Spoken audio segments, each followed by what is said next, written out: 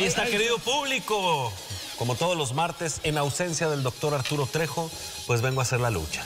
Oye, pero temazo, ¿eh? Sí, sí, Temazo, no es para menos. Algo maravilloso. Sí, no, pues ya me diste un, un está bueno.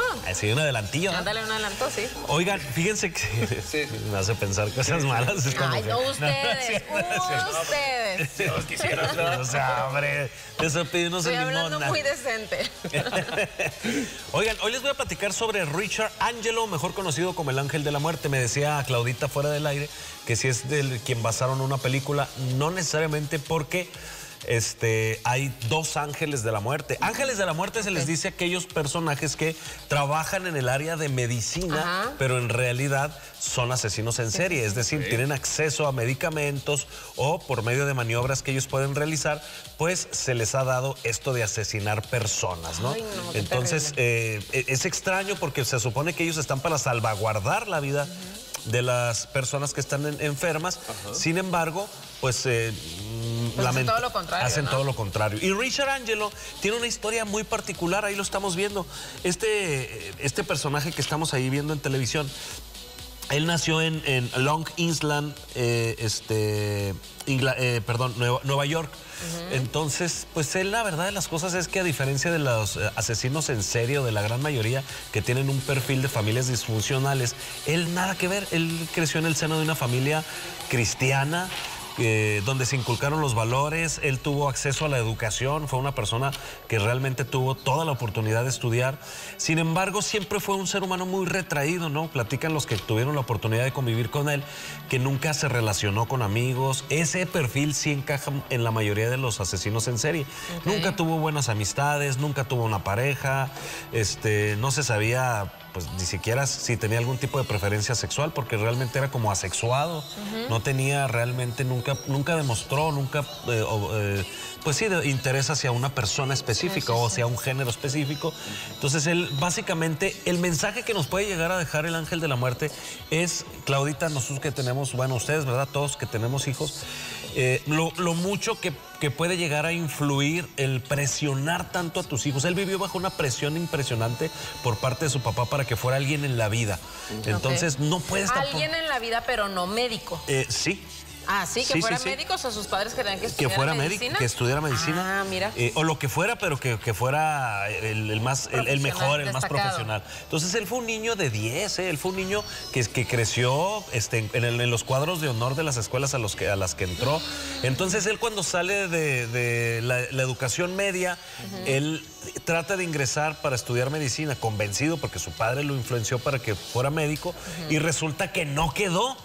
Eso él lo, lo- lo- lo lleva o lo sumerge en un pro- una profunda depresión, ¿no? Y aparte su autoestima se ve muy lastimada porque era tanta la presión que tenía por parte de sus papás que él cuando es rechazado por la, por la universidad, porque pues obviamente les hacen ciertos exámenes, no cualquiera, a pesar de que no tienen la preparación, tienen que llevar un cierto, ya digamos, previo conocimiento Sí, sí, sí. o, o ciertas cierto aptitudes, perfil, ¿no? un cierto También. perfil, exactamente, un cierto perfil para ser aceptados en la escuela de medicina y lo que él, para lo cual él no cumple.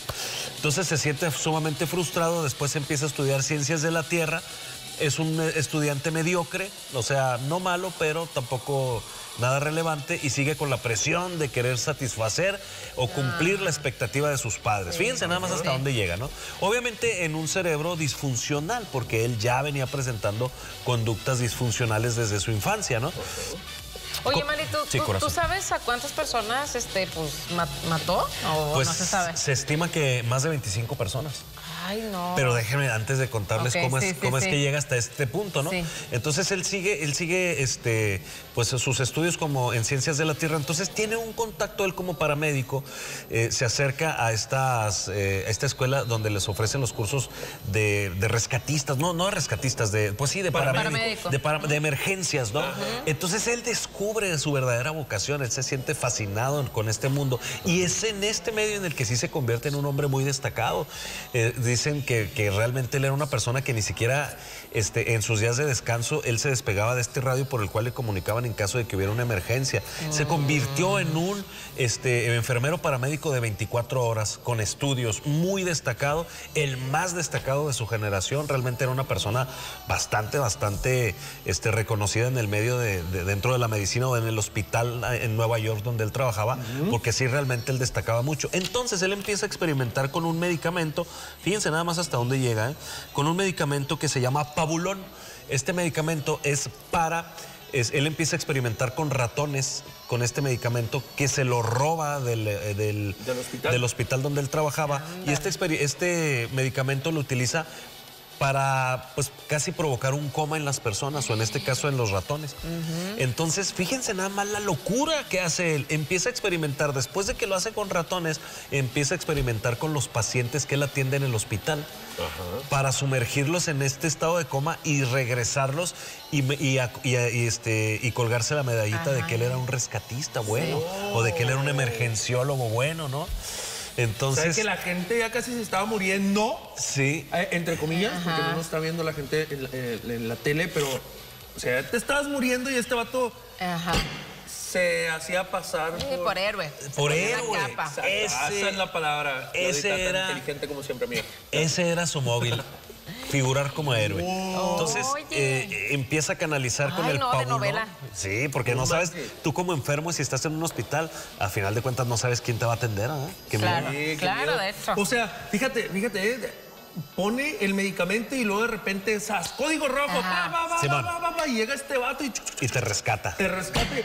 No, Sí, qué sí, cosa. Pues Así mira, es. era la manera de, de que él pueda ser sobresaliente, ¿no? Eh, Y a lo mejor así ya lo decirle a era. su papá, mira papá. Exactamente. soy O sea, el vato ya era en esto. ¿verdad? De por sí ya era sobresaliente, Sí. pero él quis- quiso ir Sí, más, más allá, allá, ¿no? claro. O sea, que se, que se, que figurara él como una persona que estaba rescatando vidas.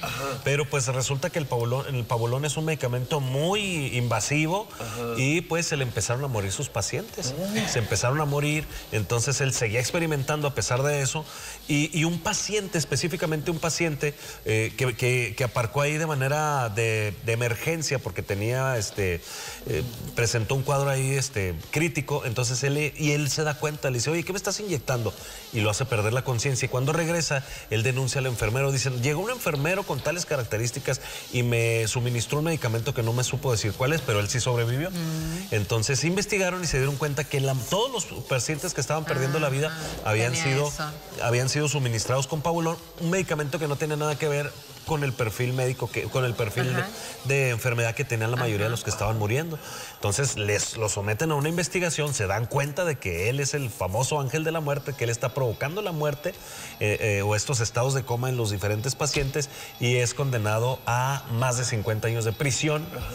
Y pasa de ser el superhéroe en lo que él se había convertido en aquella época este, rescatando vidas a ser un asesino en serie. Pues sí, oye. No se sabe, se, se- se debate mucho el tema de si realmente en un momento dado él sí estaba tratando de salvar vidas o si realmente a él ya le estaba gustando asesinar personas.